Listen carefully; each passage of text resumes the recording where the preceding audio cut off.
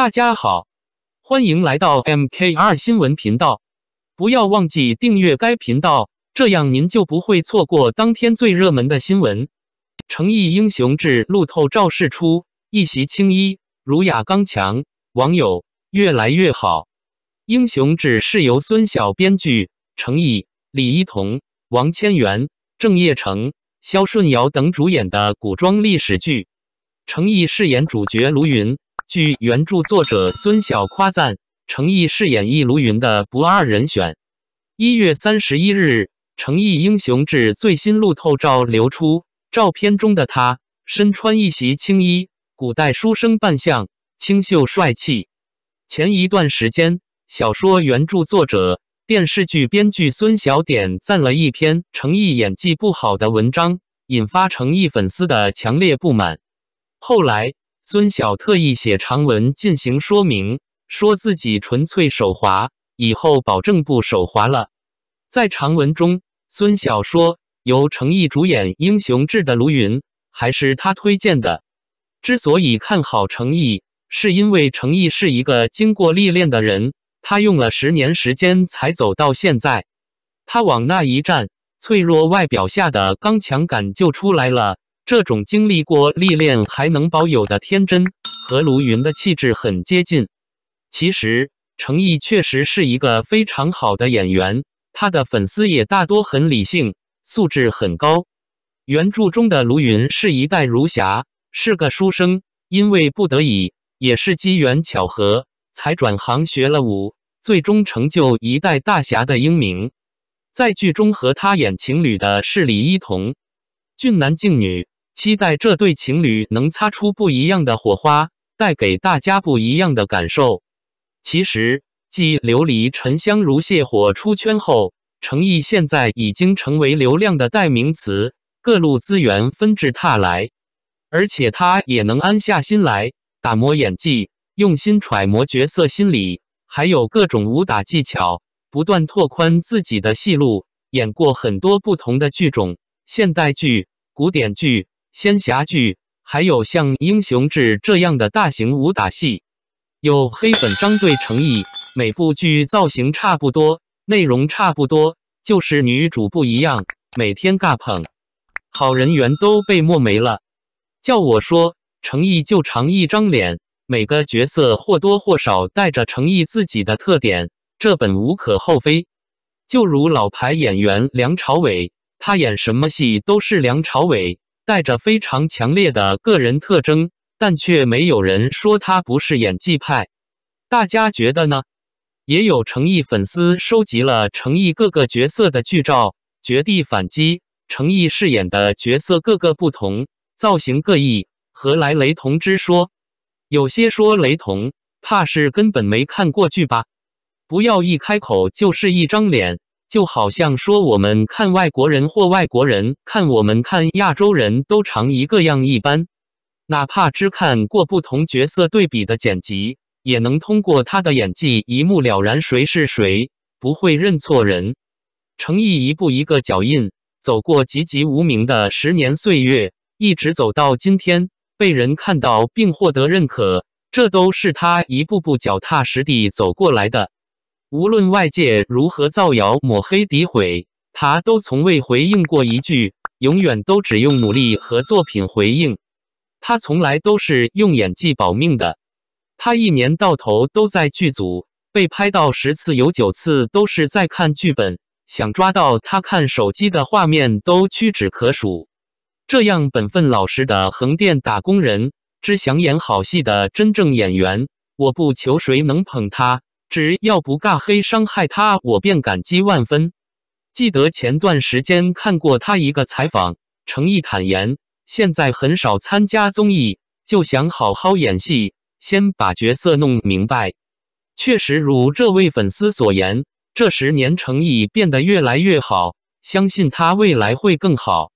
胡歌官宣生女，才明白，既然你活了下来，就不能白白活着的深意。一月三十一日，胡歌发文：“我当爸爸啦，母女平安，向大家报喜。”一向细心的胡歌透露，妻子不是公众人物，所以在生产前一直隐而未宣。然后这条微博发出后，以迅雷不及掩耳之势登上热搜榜第一名。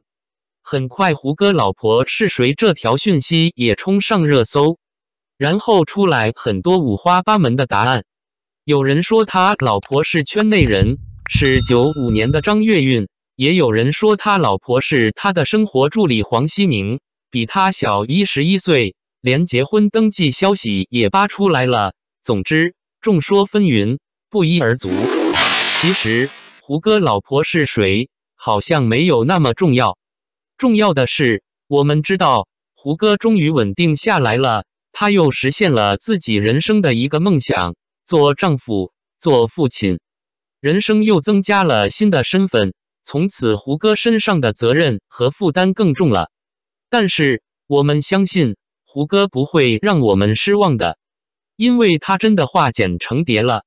处女座的胡歌喜欢做梦，他自己说这是个不大好的习惯。因自己的睡眠质量不太高，但是他确实很喜欢那种做梦带来的超体验。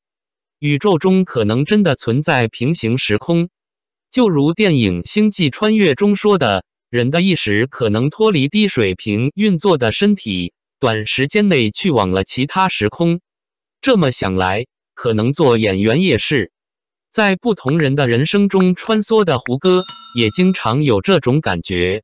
一直到二零零六年的那次车祸，这种感觉更加明显。这年八月二十九日，正在拍《射雕英雄传》的胡歌结束当天的拍摄任务，连夜赶往上海，途中和一辆大卡车相撞，同行女助理张冕经抢救无效当场死亡，而胡歌头面部受到重创，颈动脉暴露在外，面临毁容甚至生命危险。幸运的是，经过六个小时的急救，脖子和右眼缝合一百多针后，胡歌死里逃生了。只是右眼却留下了永远的伤痕。重新活过来的胡歌，心里却平添了一个巨大的负担。助理张冕的死亡也成为他一生的意难平。很长一段时间，胡歌都无法相信，这个和自己共事那么多年的女孩。竟然会因为自己的工作而死亡，所以活下来的胡歌担负起了照顾张冕家人的任务。逢年过节，他都尽量抽时间去探望他的家人，还以张冕的名义做了很多公益。二零一四年，胡歌主演了《琅琊榜》，最喜欢的一句台词是：“既然你活了下来，就不能白白的活着。”剧中的梅长苏经历灭国巨变。毁容后，以新面孔坚韧的生存。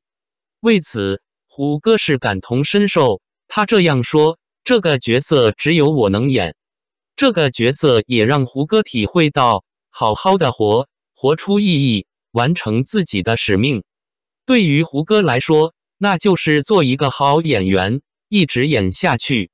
做演员而不是做明星，从此成为胡歌的追求。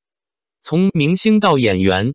他一步步走来，胡歌扔掉了偶像的包袱，出演了《四十九日记生活启示录》，还有话剧《如梦之梦》。胡歌这么形容自己的经历：老鹰过了四十岁以后，会经历一个特别痛苦的过程，他要把手上的老皮咬掉，把自己的嘴敲脱落掉，才会长出新的嘴和爪子。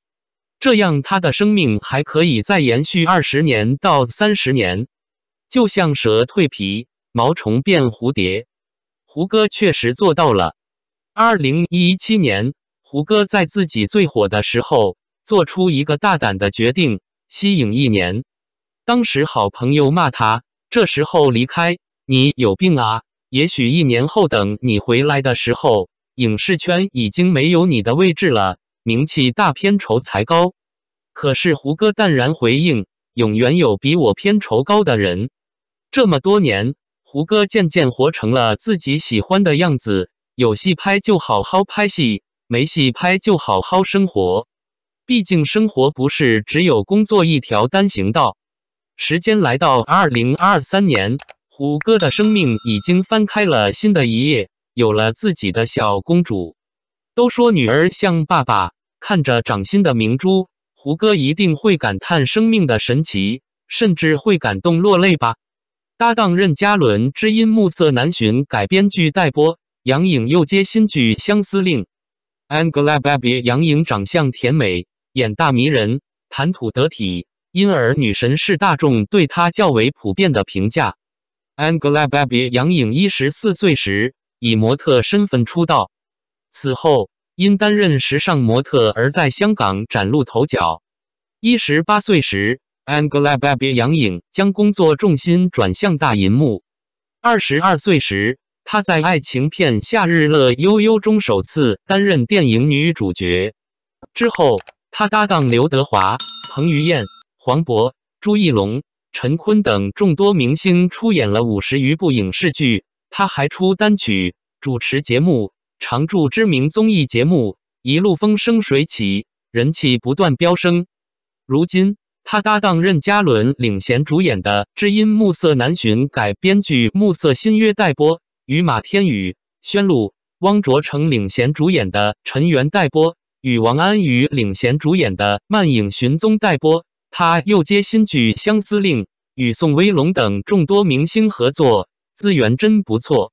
漫笔生花，关心愈心，双向奔赴，爱不散场。《暮色新约》是一部当代都市爱情题材剧，由李昂执导并编剧，任嘉伦、Angelababy、杨颖领衔主演。打包一箱缱绻心事，奔赴一场浪漫约定，携爱共赴，温暖如约。《暮色新约》改编自玉井烹香的小说《知音暮色难寻》。玉井烹香的小说《知音暮色难寻》讲述一对智商碾压常人的男女开始谈恋爱的故事。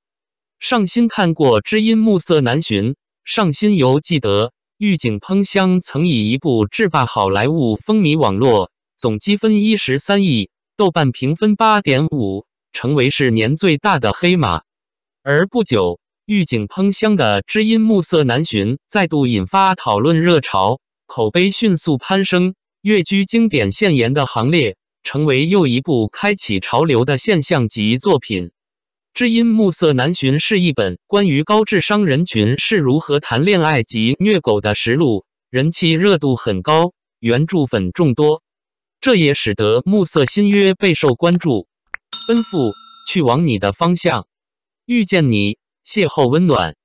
在暮色新约剧中，任嘉伦饰演作家祁连山，Angelababy 杨颖饰演从事心理健康指导工作的刘霞。刘霞路遇一名女子想要跳桥，刘霞见状便用心理学知识进行疏导，最后成功将该女子救下。而这一幕恰巧被正想将自己的心理推理小说改编成剧本的作家祁连山目睹，祁连山便力邀刘霞当顾问。祁连山的小说在改编成影视剧的过程中得到了刘霞的专业指导，随着两人接触不断加深。祁连山深深的被刘霞所吸引，两人在一次次携手合作中越走越近，最终在各自事业都取得成功的同时，也收获了美好的爱情。搭档任嘉伦领衔主演的《知音暮色难寻》改编剧《暮色新约》待播，备受期待。而杨颖又接新剧《相思令》，也是吸引了不少网友和粉丝的目光。目前，《相思令》正在准备剧本围读。礼仪、武术等培训和进组筹备，开拍在即，期待《相思令》捷报频传。杨颖搭档任嘉伦领衔主演的《知音暮色难寻》改编剧《暮色新约》待播，与马天宇、宣璐、汪卓成领衔主演的《尘缘》待播，与王安宇领衔主演的《漫影寻踪》待播。他又接新剧《相思令》，与宋威龙等众多明星合作，你期待吗？感谢您观看视频。如果您觉得这些时事通讯有帮助，请不要忘记点赞、评论和订阅。